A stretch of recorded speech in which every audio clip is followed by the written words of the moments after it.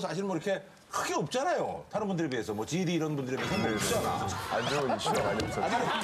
빅뱅의 멤버 탑 씨가 대마초 흡연 혐의로 적발된 사실이 뒤늦게 알려져 큰 충격을 주고 있습니다.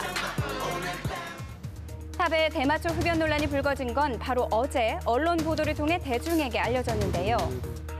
서울지방경찰청은 지난 4월 마약류 관리에 관한 법률 위반 혐의를 적용, 기소 의견으로 탑을 검찰에 송치했다고 밝혔습니다. 경찰에 따르면 입대 전인 지난해 10월 서울 용산구의 자택에서 대마초를 피운 것으로 전해졌습니다. 탑은 은우 경찰로 입대 후 강남경찰서 경찰학대에서 병역 의무를 이행 중인데요. 사건이 불거진 어제 탑의 현재 상태에 대해 관계자의 얘기를 들어봤습니다. 어, 최재원 대원은 현재 우리 악대 복무 중이고요.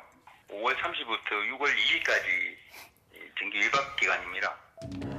사건이 알려진 어제 오후 소수대 측은 의경 복무 중 수사기관에 소환돼 모든 조사를 성실히 마친 상태라며 조사 과정에서 자신의 혐의를 대부분 인정하고 깊이 반성하고 있다고 밝혔는데요. 소속사에서 공식 입장을 통해 탑의 대마초 흡연 혐의를 인정한 만큼 그의 처벌 수위에 대한 관심도가 높아지고 있는 상황입니다. 재판 결과 벌금형 또는 집행유예 판결이 나오면 남은 복무에는 큰 문제가 없습니다.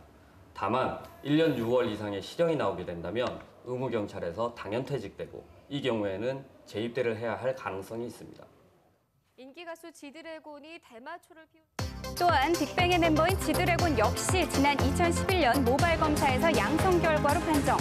검찰 조사에서 대마초를 흡연한 사실을 자백했으나 흡연량이 적다는 이유 등으로 기소 유예 처분을 받은 바 있습니다. 현재 탑은 정기 외박을 마치고 취재진을 피해 서울 강남경찰서로 복귀한 상태인데요. 이후 진행될 이 사건의 전개에 귀추가 주목됩니다.